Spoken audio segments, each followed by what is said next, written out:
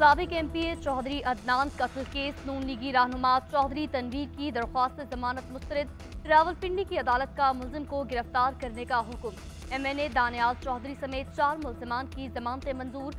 फरीकैन के दलाल मुकम्मल होने पर गुजशत रोज अदालत ने फैसला महफूज किया था।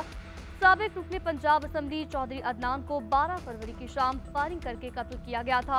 मुकदमे में लीगी senator Chaudhry Tanveer M N A Daniyal Chaudhry और दीगर को नामजद किया गया था।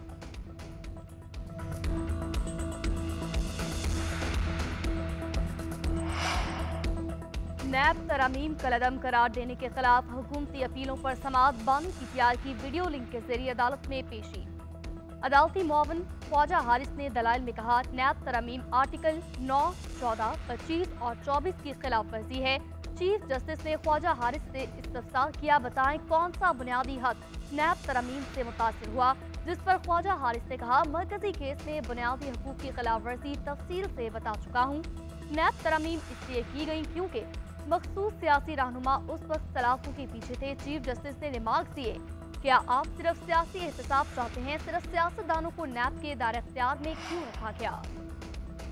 नैब कानून में सदारती ऑर्डिनेंस के ज़रिए तरमीम के खिलाफ दरख्वास्त के काबिल समाप्त होने पर लाहौर हाईकोर्ट में फैसला महफूज, डिप्टी अटॉर्नी जनरल ने दलाल में कहा, इस नौयत की कोई दरख्वास्त सुप्रीम कोर्ट में ज़रिए तबा नहीं। अदालत ने रिमार्क दिए। कि इमरजेंसी सूरत हाल थी कि सदारती ऑर्डिनेंस जारी किया गया? पार्लियामेंट की मौजूदगी में सदारती ऑर्डिनेंस जारी करने की क्यों ज़रूरत पेश आई? दरख्वास्त गुजार ने मौकफ इख्तियार किया कि नैब तरामीम का इख्तियार सिर्फ़ पार्लियामेंट को है। सदर मुमलिकत सिर्फ़ इमरजेंसी में ऑर्डिनेंस जारी कर सकते हैं।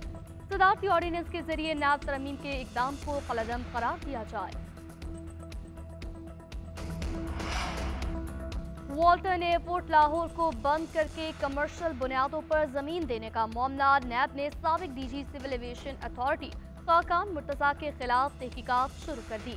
नैब ने सबक डीजी समेत दीगर सिविल एविएशन अफसरान को शामिल तफ्तीश कर लिया। खाकान मुर्तजा से तहकीकत के लिए तेरह सवाल किए गए।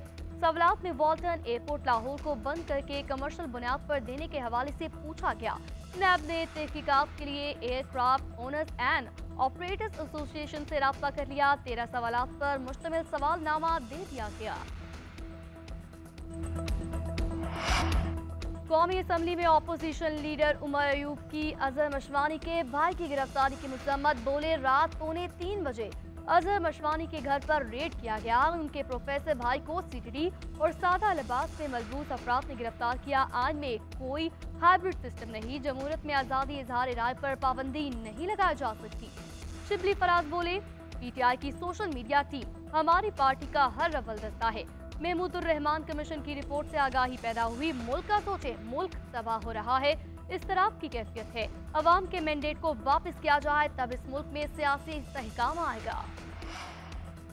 बच्चों को गैर कानूनी तौर पर बैरून मुल्क भेजने और स्मगलिंग का केस, समाजी कारकुन सारिम बनी को कराची की मकामी अदालत में पेश किया गया। एफ़ आई ए की सारिम बनी को जिसमानी रिमांड पर देने की सदा तफ्तीशी अफसर ने कहा, सारिम बनी से बच्चों से मुतालिक तफ्तीश करनी है, सारिम बनी ने कहा। मेरे वकील आ रहे हैं, थोड़ा वक्त दिया जाए। अदालत ने केस की समाप्त वक्त का कर दिया।